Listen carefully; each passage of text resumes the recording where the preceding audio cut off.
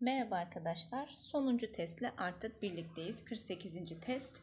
Ee, başlayalım. Bitkilerde üreme ile ilgili testimiz. Birinci soruda diyor ki bir bitkiye ait erkek ve dişi üreme organının yapısı şekildeki gibidir diyor. Harflendirilen yapılarla ilgili hangisi yanlıştır? Arkadaşlar A nedir? Dişicik tepesi. B dişicik borusu. C ise e, tohum taslağıdır. Yani embriyo kesesidir diyebiliriz aslında. Embriyo kesesidir arkadaşlar C. D'ye baktığımız zaman D polenlerin üretildiği anterdir yani başçık. E de sapçıktır erkek organın. Diyor ki A diyor dişicik tepesi olup polenin tutunacağı yapışkan sıvı üretir. Evet doğrudur arkadaşlar. B diyor dişicik borusu olup polen tüpünün gelişim gösterdiği bölümdür. Evet arkadaşlar dişicik borusudur ve polen tüpü buradan oluşur. Doğru. C embriyo kesesi olup döllenmenin gerçekleştiği yapıdır. Evet arkadaşlar döllenme olayı hatta çifte döllenme olayı burada gerçekleşiyor. Doğru.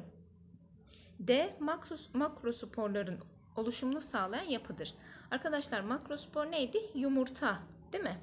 D neydi? Erkek organ. Erkek organda peki yumurta oluşur mu? Hayır. O zaman bu yanlıştır. E diyor filament olup erkek organın çiçek tablasına bağlanmasını sağlar. E'ye bakıyorum filament yani sapçıktır. Evet doğrudur çiçek tablasına yani e, şuradaki yapı arkadaşlar çiçek tablasıdır. Buraya bağlanmasını sağlar. Doğrudur. Cevabımız D şıkkı olur. Diyor ki yapıları diyor tanımlarla eşleştirilirse hangisi doğru olur? Aynı çiçekte erkek ve dişi organın birlikte bulunması. Arkadaşlar aynı çiçekte diyor bakın C olacak bu. C. Bir bitkinin sadece dişi ya da sadece erkek çiçekleri bulundurması durumudur. Arkadaşlar bir bitkinin diyor bakın çiçekten bahsetmiyor. Ya dişiyi bulunduracak ya da erkeği bulunduracak. Bu dioik bitkidir. Yani erkek ayrı evde, dişi ayrı evde. İki evli. Tamam mı? Bakın di iki demektir. iki evli demek. 3 diyor bir erkekte pardon bir çiçekte erkek ve dişi organlardan sadece birinin bulunması. Bakın bir çiçekte diyor. O zaman bu nedir? Eksik çiçektir. Şey pardon şuraya B yazmam gerekiyor. Yanlışlıkla D yazmışım. Bu D olacak. Bir bitkide erkek ve dişi çiçeklerin birlikte bulunması. Tek evde bulunuyorlar arkadaşlar. Tek, bir. O zaman monoik bitkidir. Bu da A.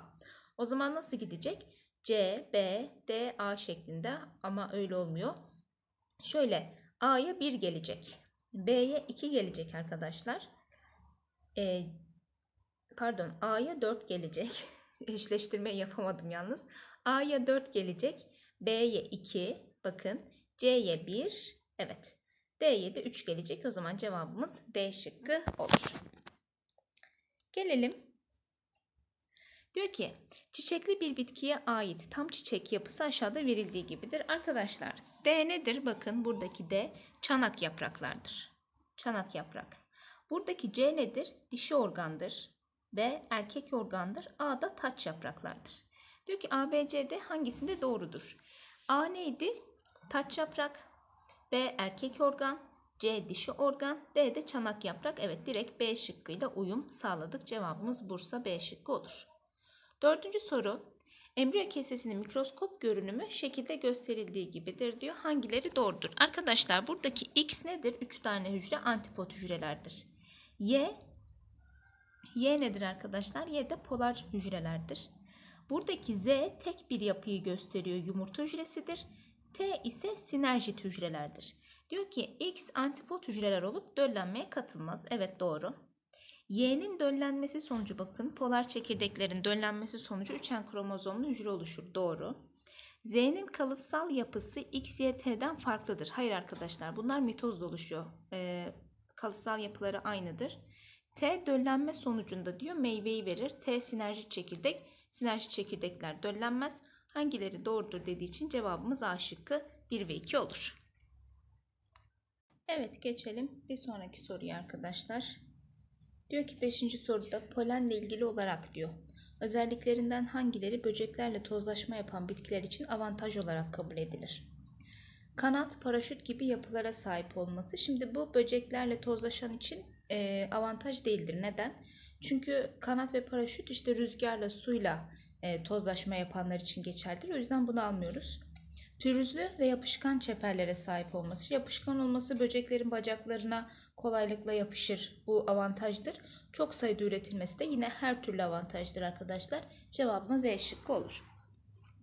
Altıncı soruda diyor çiçekli bir bitki, çiçekli bitkilerde diş üreme organının yapısı aşağıda gösterildiği gibidir. Burada A ve B çekirdeklerini göstermiş. Bakın A polar çekirdekleri döllüyor. Bakın bunlar sperm çekirdekleridir. A polar çekirdekleri döllüyor. Burada triploid yani 3 en kromozomlu endosperm oluşur. B de arkadaşlar yumurtayı döllüyor. Burada da 2 en kromozomlu zigot oluşur. Diyor ki A ve B olaylarında sperm çekirdeklerinin embriyo kesesinde döllediği yapılar gösterildiğine göre A ile diyor polar çekirdekler döllenir. Evet. Az önce gösterdik arkadaşlar doğru. B'de sinerjik çekirdeklerden biri döllenir demiş. Hayır yumurta döllenir. A olayının sonrasında endosperm gelişir. Evet 3N'den sonra endosperm oluşur. B olayı meyve oluşumuna neden olur. Hayır arkadaşlar embriyo oluşumuna neden olur. Cevabımız 1 ve 3 B şıkkı olur. Evet geçelim 7. soruya arkadaşlar. Diyor ki çiçekli bir bitkinin anterlerinde polen oluşur, oluşturulurken olayları seçeneklerde belirtilen hangi sıraya göre gerçekleşir? Arkadaşlar ilk önce mikrospor ana hücresi mayoz bölünme geçirir. Yani birinci sırada 3 numara. Daha sonra buradakine göre söylüyorum tabii fark, e, sıralama farklıdır. Mikrosporların endospor yapması olur. Şey endospor demişim endomitoz yapması olur.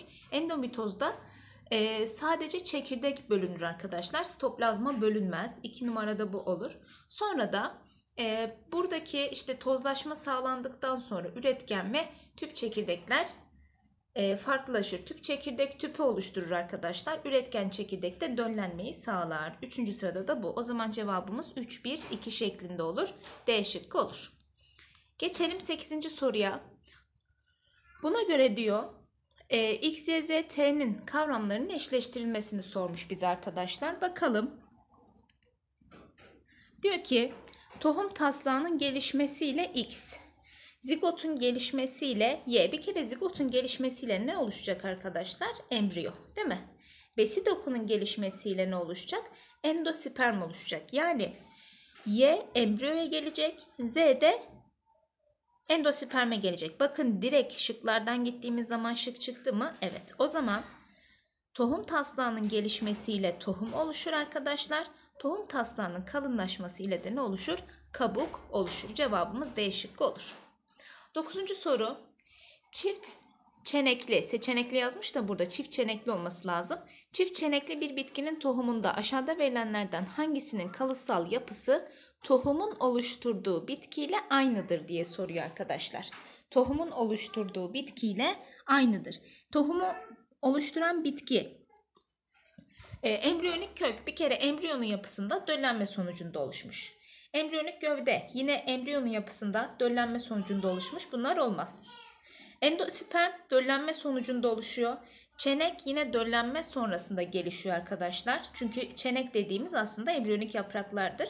E, tohum kabuğu bakın tohum kabuğu e, tohumu oluşturan bitkiyle aynıdır. Ama geriye kalan yapılar yani embriyo ile ilgili bir şey varsa bunlar nedir? E, mayoz ve döllenme sonucunda oluşturduğu için tohumun oluşturduğu bitkiyle farklıdır arkadaşlar. Cevabımız B şıkkı olur. 10. soru. Çimlenmekte olan bir tohumun çimlenme sürecinde diyor hangilerine ihtiyacı yoktur? Arkadaşlar bir kere fotosentez yapmadığı için karbondioksite ve ışığa ihtiyacı yoktur. Yine minerallere yani toprağa ihtiyacı yoktur. Diyor ki toprak gözeneklerinde karbondioksit bulunması buna ihtiyacı yok. Ortam sıcaklığının optimum koşullara ulaşması. Evet enzimlerin çalışması için ihtiyacı var. Tohumdaki su oranının %15'in üzerine çıkması. Yine enzimlerin çalışması için ihtiyacı vardır. Hangisine ihtiyacı yoktur dediği için cevabımız A şıkkı olur. 11. soru. Aşağıda verilen meyvelerden hangisi küme meyvelere örnek olarak verilebilir diyor.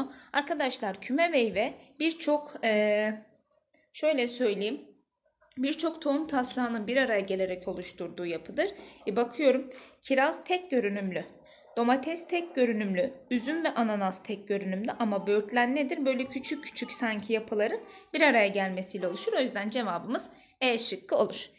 Evet böylece bütün testlerimizi bitirmiş olduk arkadaşlar. Umarım anlatabilmişimdir. Anlamadığınız yerlerde sorularınız olursa veya başka bir şekilde sorunuz olursa mutlaka yorum yapın bekliyorum. Instagram'dan da ayrıca takip edebilirsiniz yine biyoloji öğreniyorum olarak. Sonraki testlerde, sonraki konularda görüşmek üzere. Hoşçakalın.